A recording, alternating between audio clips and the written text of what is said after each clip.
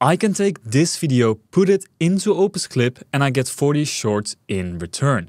In fact, that is what this guy and many other creators have been doing for a while now, and it seems to work perfectly for them. If you take a look at his views, you can see that his shorts are getting over 400k views. And this is just one of the easiest way to get content and grow your channel. So in this video, I will show you exactly how you can use Opus Clip to generate shorts like this. And I will show you how to use the editor so you never have to use Premiere Pro ever again. To get the best results while dropping in your link, you can give it some instructions like find me the viral moments. You can set your clip length. I have it at 30, 59 and 60 to 98 seconds and then you select your preset. So for this, I'm gonna do this preset right here, and then we click on get clips in one click, and boom, you're done. Now that gives you all of these clips, and now I'm gonna show you how you can edit this. So let's just edit this one. What we do here is we click on edit clip, and now we can completely customize it to make our own. So right now it looks like this. Unlike most people that come on, you didn't spend at what you make. You didn't spend more than what you made. You spent less than you made. So this is a pretty strong hook. But what I'm noticing already is the framing might be off. So we double click on here and then we're gonna drag it over to his face. And now we hit apply. And now we can see he's perfectly aligned. So if that's the case, then you can fix it by double clicking on it. And you might have to do this for multiple different clips. Other than that, if you want to customize your shorts a little bit better, then what I will suggest you to do is to upload your own custom font. So here, as you can see, we have the standard Hormozi font, but I want to change this to something else.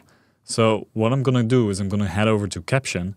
Here I'm gonna scroll down and here we have the font. So for the font, you can upload your own custom font. If you click on this, this will bring you over to the brand kit and here you can drag in your own file.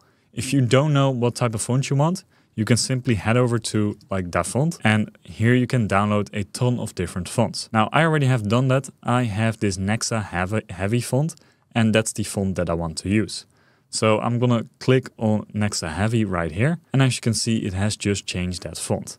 Now it looks quite good to me but what else you can do is you can change the color of your text so right now we're on white, but if you want to change this to blue, for example, then you can do this, or that's actually purple. So this is a bit more blue. And this way you personalize your captions. Besides that, if you want to change up the highlighting color, so on the left-hand side, you can see the words that are highlighted. If you, by the way, want to highlight a word, then you click on the word and then you say highlight, and then you can choose your color. If you want to change that color, then you go down to AI keyword highlighter and then here you can change the color of that. So this way you can make your own font. You can completely make it your own. And also if you don't like the placement, then you can simply drag it up and you can see the borders of which you need to stay in. Otherwise your captions might be cut off. So I'm gonna drag it a bit higher so people don't have to look too much down when they want to read the caption and see their face. And this is what most people use when they change up their caption. Now, besides that, some of the new features that Opus Clip has is adding in some music. So if we go down here to music, then we can add in some music that we like. So we just click on it and then we can listen to it.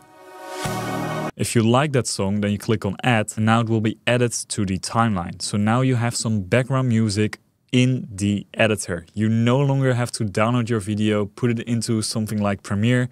You can do everything through Opus. Another thing which is pretty cool is that you can now add in your own media. For those that do not know how this works, you click on upload. Then here you can drag and drop your file. So I have a file in my file finder somewhere. Now I click on this and now I hit open. And now it's uploading that clip to this timeline. So once that is uploaded, I can simply drag it over to the timeline. I can even adjust the length of it. So I can make small cut. And now I have this custom B-roll on my timeline on top of my video. So no need to export your videos, you can do everything within Opus. If you don't have your own stock footage that you can download and put into your video, then you can simply go to B-roll. Here you can see we're adding in a stock library that's coming soon. But for now, you can either use the auto-generate stock B-roll or you can use the AI B-roll. So if you click on this, then it will analyze the transcript and it will find places where it can add that b-roll. Now, if you don't like that b-roll, then you can simply change up that prompt and then you can generate something new for that.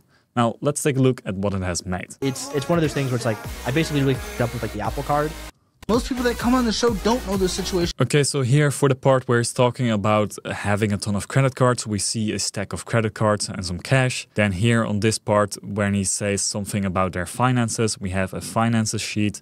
So basically it has done a great job at it, but if you want to change it, you simply click on it, then you retype the prompt and then you hit regenerate for free and then your b-roll will be regenerated. So that's exactly how you can edit your YouTube shorts once you've generated them within Opus. So we know we got a lot of shorts here and you can easily edit them through Opus Clip itself. You can save that type of template that you've used and use it on future projects so you don't have to manually change each and every video. And then once you're done with that, then you got yourself 40 shorts that are generated with AI. Now, if you want to see more tutorials like this, then click the video that's on the box right now. And if you like this video, make sure to subscribe and I will see you in the next one.